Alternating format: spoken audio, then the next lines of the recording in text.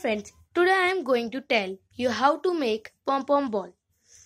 First, take the take some this I have taken this this long length and take the starting starting point or end point and round it like this like this and then take the end point and put it inside the point.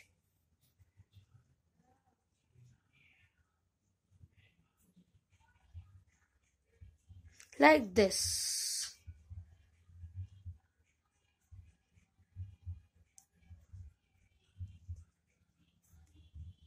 And then take the smaller wool and put it inside the middle fingers of your four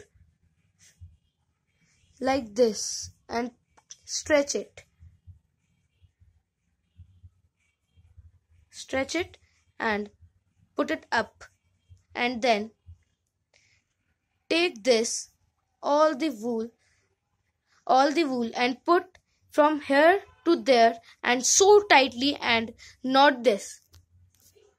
And then you have rounded like this and there is two ends. And then cross it like this and not this.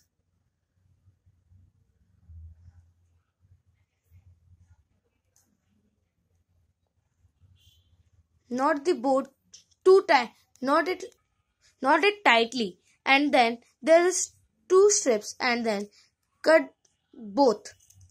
Not so much, smaller much, and then put out from your fingers and at and there is two fingers and then put the one finger outside and put in the scissor and cut like this.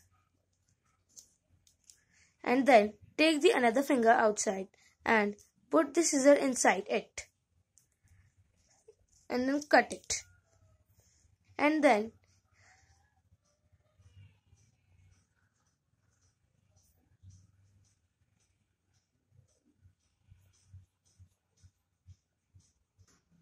and then press it so tightly and then trim it or you can or trim it and you can shape it like strawberry or pom pom. Thanks for watching my video and subscribe my channel and like my video and comment for this pom pom ball. Thanks for watching.